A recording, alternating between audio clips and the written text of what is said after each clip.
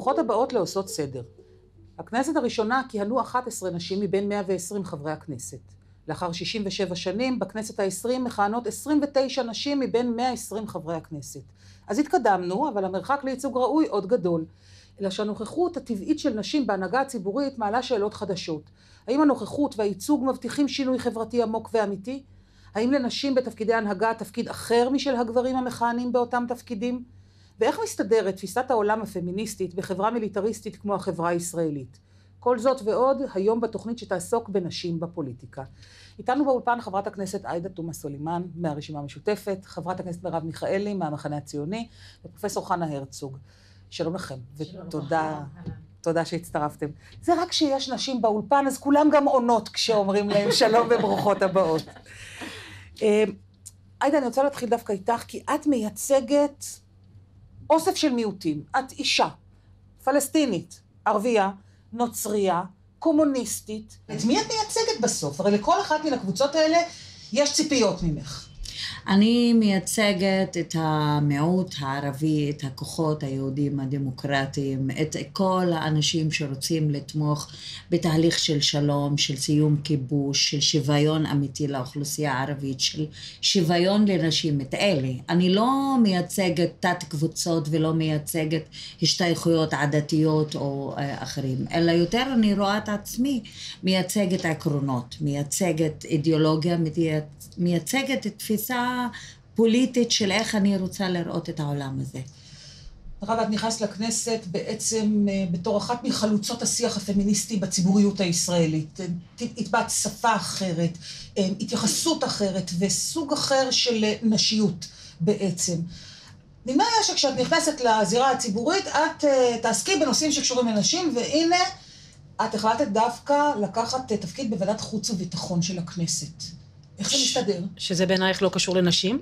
לא הבנתי. לא, בעיניי זה קשור מאוד, אבל הציפייה הייתה אחרת. הציפייה הייתה לראות אותך יותר עוסקת דווקא בנושאים, שנגיד במובהק הם מגדריים, שחסרה בהם עבודה. אה, ועיקר, בעצם עיקר הפעילות שלך היא לכאורה במנותק מהעניין המגדרי.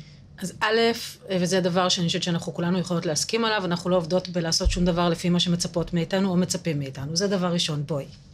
דבר שני, אה, אני באמת, כמי שמאמינה, קודם כל תפיסת העולם שלי בכלל היא מאוד uh, כוללת. זאת אומרת, אני מאמינה שהכל קשור להכל. אין מדיני ביטחוני בנפרד מכלכלי חברתי, בנפרד מדת ומדינה, ממיעוטים, מכל הדברים האלה.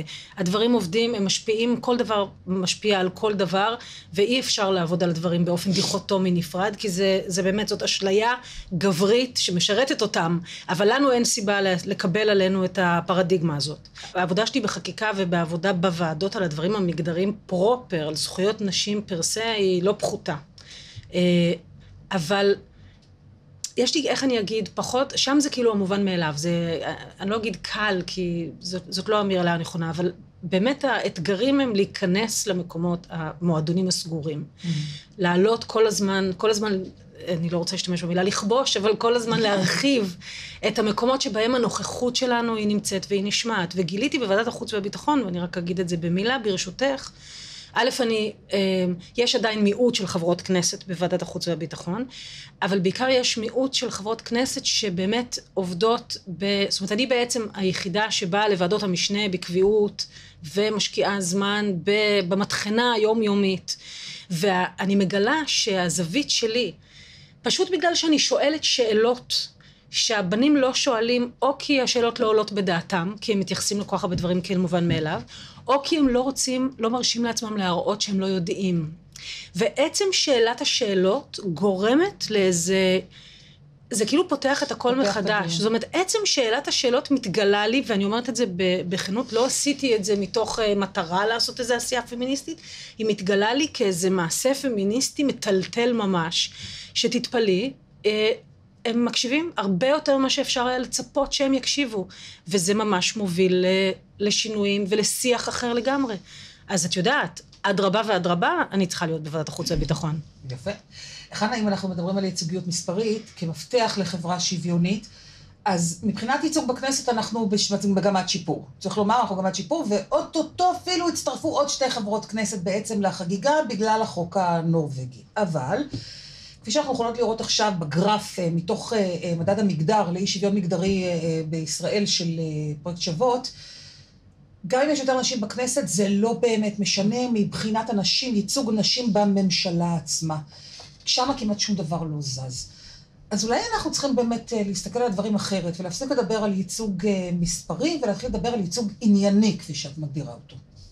אוכלוסיית הנשים בעולם היא מחצית מהאוכלוסייה, אפילו טיפה אה, קצת יותר. ולכן מבחינת דמוקרטיה, מבחינת התפיסה המאוד פשטנית של דמוקרטיה, הן צריכות לייצג 50% מהאוכלוסייה, ולכן מספרם צריך להיות זה למספר הגברים.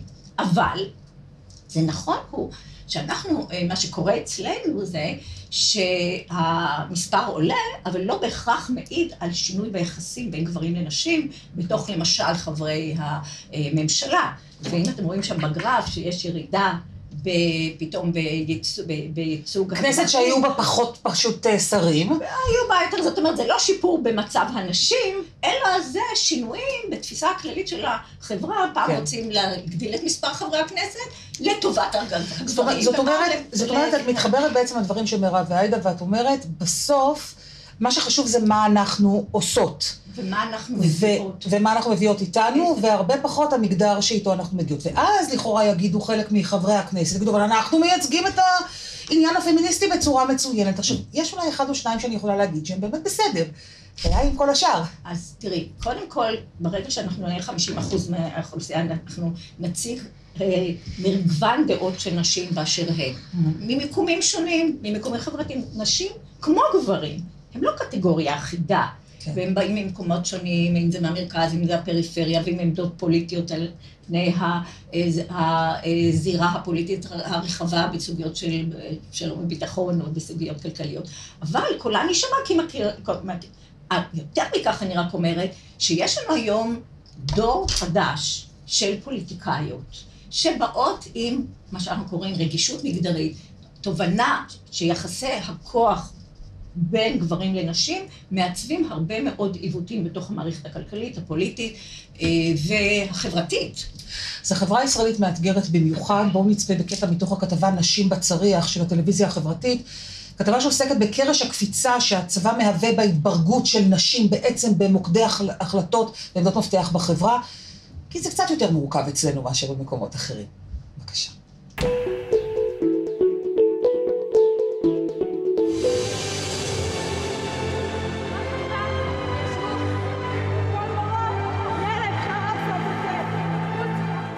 השאלה של מהו ביטחון עבור uh, נשים, בוודאי לא ייענה על ידי uh, נשים רק uh, במובן הצר של ביטחון צבאי. השקפות עולם שנשים יביאו לתפקידי הנהגה שונים של מהו ביטחון ואיך מכוננים ביטחון עבור נשים, יהיו הרבה יותר רחבים.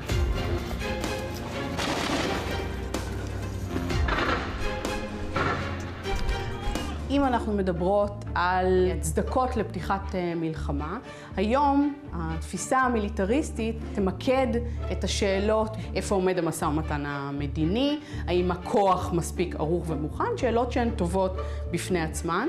אנחנו היינו מצפות שישאלו עוד שאלות אה, נוספות. איפה החברה האזרחית, כמה היא ערוכה אה, למלחמה, כמה, איזה קורבנות יהיו מתוך המלחמה הזאת, ולא רק קורבנות בנפש, איזה מחירים כלכליים יישאו הנשים והגברים כאחד, איזה מחירים נפשיים יישאו נשים בתוך תהליך כזה של מלחמה. אין מקום שבו אפשר להגיד, פה אני אחיה לי באיזושהי... אמ, אמ, גטו פמיניסטי, פציפיסטי, נקי, מצבאיות, אין דבר כזה. אין דבר כזה, כולנו משלמים מיסים למדינה ורובם הולכים למערכת הביטחון. כאילו אין אפשרות כזאת, אז עדיף להיות חלק מזה ולפעול מבפנים. דרך ארגון, זה לא עדיף, זה מה שיש. אין, אין דרך להתנתק מזה. ומי שאומרת שהיא מתנתקת מזה, משלה את עצמה לדעתי. יש נשים שרואות את עצמן אה, פמיניסטיות. יש גם ארגונים כאלה. שלא עוסקות במיליטריזם ולא מתנגדות למיליטריזם. בישראל יש לא מעט כאלה. לצערי, אני חושבת שזה עיוות של מה שפמיניזם אה, בעצם מציע כ- כפרוגרמה חברתית-פוליטית. חנה, אני רוצה לחזור אלייך. ענת טעון אשכנזי מסבירה את הפן הפמיניסטי של תפיסת, אי, של תפיסת הביטחון אה, כהרחבת השיח, כהרחבת המחשבה. מה זה ביטחון ואיך מכוננים ביטחון עבור נשים. אבל בעצם לא מתכוונים איך מכוננים ביטחון עבור נשים, אלא אה, תפיסת ביטחון פמיניסטית מתייחסת לכולם. כמו שאמרתי, מגדר עוסק בחברה כולה.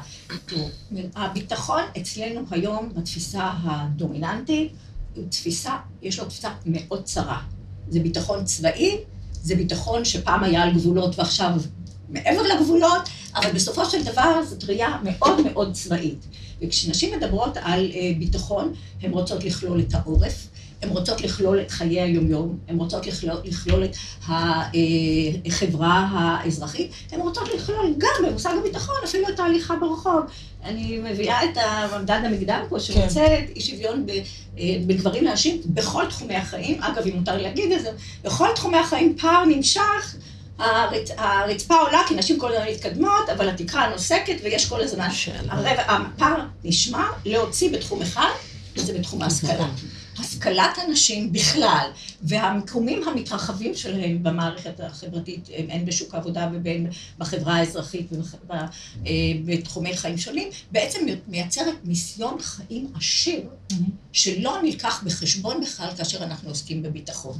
אנחנו רואים את זה דרך העיניים של הגברים שמגדירים את עצמם כאחראים לביטחון, ולכן מה ש... זה דרך הכוונת. מה שמירב אמרה זה כל כך נכון, כלומר היא לא צריכה לבוא עם איזו אידיאולוגיה פמיניסטית, היא רק צריכה לבוא ולחשוב על ניסיון חי... חיי היום-יום, כאשר יוצאים למלחמה, או כאשר צריכים לעמוד שמעמידים את שומרי הביטחון, הביטחון, הביטחון בכניסה כן, לכל אבל... מיני מקומות, ואנחנו נותנים לגברים נשק, ומחר הנשק הזה הופך להיות נשק שנכנס הביתה, ו... הוא על שולחן המטבח, כמו שאומר. כן, אבל אני לא מסכימה ממש, חנה, שהיא לא צריכה להגיע עם תודעה או אידיאולוגיה פמיניסטית. כי הרבה נשים חוות אותן חוויות, אבל הן משוכנעות שזו הדרך ואין מנוס ממנה, נכון. וככה זה צריך נכון. להיות. בין היתר בגלל שהחברה מסלילה דרך נכון. מערכת הביטחון, וכאן את התבטאת כשקיבלת את ראשות הוועדה לשוויון מגדרי ואמרת, שאת לא תהיי שם במאבק על שוויון של נשים בתוך הצבא. נכון. את לא מעוניינת להיות בסיפור הזה. נכון. אז, אז בכתבה שראינו, אורנס אסן לוי אומרת שזה סוג של התייפייפות. זה ניסיון להישאר באיזה מין גטו פמיניסטי פציפיסטי בחברה הישראלית, מה לעשות, חלק ניכר מהתקציב שלנו הולך לביטחון. אה, הביטחון מכתיב הרבה מן ההחלטות כאן, ונשים חייבות להיות גם שם. אולי כדי לשנות את השיח. נשים, נשים ופמיניסטיות חייבות להיות במאבק נגד התפיסה הזו. שם הן צריכות להיות, ולא להיות בתוך התפיסה עצמה וכאילו תחת הטענה לנסות לשנות מבפנים. נכון שיש כאלה שיצליחו לשנות פה ושם, ושאולי התפיסה תנוע אה, אה, ותשתפר. אם הצבא הזה הוא צבא, בעיניי שהוא צבא כיבוש, הוא עדיין כובש עם אחר. הוא עדיין מדכא עם אחר. אז אני לא, לא הייתי רוצה לראות שהמאבק של הפמיניזם הישראלי, כמו שהיה פעם, להיות כיבוש. טייסת, כן. או, או, או להיות, אני לא יודעת מה, אה, אה, אה, קרבית בתוך הצבא. אני רוצה לראות את הפמיניזם הישראלי עומד על רגליו ואומר די לכיבוש, די לזה ששולחים אה, אה, אה, את החיילים לעשות את מה שהם עושים. אני הייתי רוצה לראות את הפמיניזם הישראלי דווקא מרחיב את ההבנה של ביטחון למה שאמרנו. ביטחון, כי, כי תשמעי, אפילו התפיסה הזו הוכיחה שהיא כושלת. הרי כל פעם שמפתחים את המיליטריזם ומפתחים יותר נשק ויותר מערכות הגנה, בעצם ישראל נמצאת תחת סכנה יותר, אפילו מבחינה מיליטריסטית. אני לא מדברת על משהו. אין, חימוש מביא למרוץ חימוש, ומי לא. שרוצה לחזק את עצמו מיליטריסטית, יתחזקו מולו גם מיליטריזם. והביטחון המיליטריסטי, משפט אחרון, כן. נוגס בכל הביטחונות האחרים. כן. כי כל מה שצריך להשקיע בכלכלה ובבריאות וברווחה ובהגנה על נשים אה, שסובלות מאלימות, בעצם רוב רובו נשאב, אה, נשאב לתוך הביטחון. אני רוצה שנייה להמשיך. למיליטריזם ולא לביטחון. אני רוצה בדיוק לקחת את זה מאיפה שעאידה השאירה את זה. אני אגיד ככה, מבחינתי חד משמעית ביטחון שווה שלום. תפיסת הביטחון של ישראל כבר עשרות שנים לא כוללת שלום. לא יכולה להיות תפיסת ביטחון שלא כוללת שלום כנקודת מוצא וכנקודת סיום. זה, באמת, זה, זה צריך להיות הרצפה והתקרה, אם, אם תרצו, משני הצדדים. וזה חייב להיות, וזה חלק מבחינתי מהמאבק שלי בדבר הזה שנקרא ביטחון. אבל בינתיים. עכשיו, לא, אז לא, זה אפילו לא בינתיים, זה... אני, אני רוצה להגיד שזה צריך להחזיק את המקל הזה באופן מורכב מבחינתי, שאת ואני בפוזיציות שונות בהקשר הזה, צריך להגיד את זה. נכון. משני הקצוות שלו, כי יש גיוס חובה. כל זמן שיש גיוס חובה, זה פשוט לא יכול להיות שתהיה מערכת שאומרת אין כניסה לנשים. זאת לא יכול להיות, זה בלתי נסבל, זה חוק במדינת ישראל, כמו שאני חושבת שלא יכולה להיות מערכת של נישואים דתיים בלבד, וחייבת להיות מערכת של נישואים אזרחיים.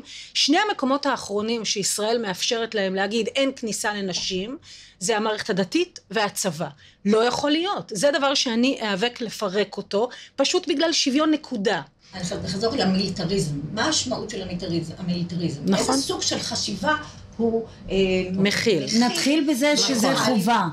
נכון. נתחיל בזה שזה חובה. במקום להגיד, אני רוצה אה, בעצם להיאבק במיליטריזם ולחכות עד שיהיה הבנה אחרת של... שנייה, להיאבק במיליטריזם. למה לא להתחיל בזה מההתחלה, כאילו, בואו בוא ניאבק בזה שזה חובה. ואז כל מי שרוצה להיכנס, תיכנס, ויהיה לה אפשרות להיות איפה שהיא רוצה. לפחות שזה לא יהיה כפוי מההתחלה. כי זה בעצם מה שמשמר את המיליטריזם בישראל. זה שמכניסים את זה בכוח לכל בית, ומכריחים את כולם להיות חלק מהמערכת הזו. ואז כאילו המאבק נשמע, האם אני אהיה שווה בתוך המערכת הזאת? או בעצם לבנות את המערכת. אם היא הייתה מערכת וולונטרית, לא היית מתעקשת שיהיה בה שוויון, גם היית מתעקשת שיהיה בה שוויון. זה בכלל לא משנה. כן, ודאי. זה בכלל לא משנה. זה, אני אומרת שהעניין של החובה הוא מעצים את זה עוד אה, פי כמה וכמה, אבל גם, אילו, גם אילו היינו עוברות לפוזיציה של מצב, של צבא מקצועי או וולונטרי, עדיין היית אה, נאבק, אני הייתי נכון, נאבקת זה על זה שתהיה בו, שוויון הזדמנויות. אז בואו נצפה. בואו נצפה, בואו נצפה. בבקשה. אוקיי, כשאני אולי איאבק על דבר כזה כשלא יהיה צבא כיבוש. אז אולי, ויהיה מקצועי, ואז. יצאנו ושאלנו את הציבור למה לדעתם יש פחות נשים מגברים אה, בכנסת ובמוקדי קבלת החלטות, ואם יהיו יותר נשים, איזה שינוי תחווה החברה הישראלית כתוצאה מן העובדה של אה, ריבוי נשים. בואו נצפה במה.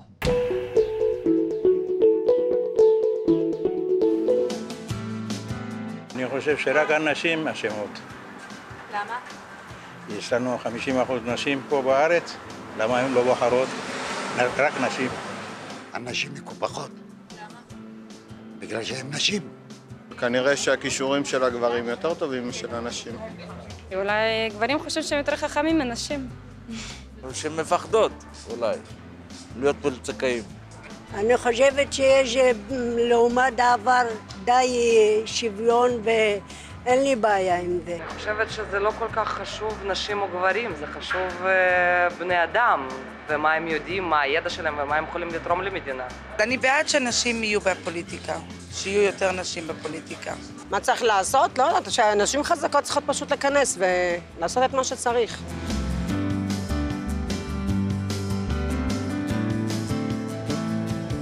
איזה שינוי יהיה לטובה אם אה, יהיו יותר נשים בפוליטיקה?